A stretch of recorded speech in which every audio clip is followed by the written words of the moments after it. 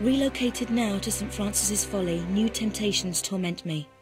Rumour amongst my fellow brothers is that entombed beneath our monastery is the body of Tihocan, one of the three legendary rulers of the lost continent Atlantis, and that with him lies his piece of the Atlantean Scion, a pendant divided and shared between the three rulers, which curbs tremendous powers.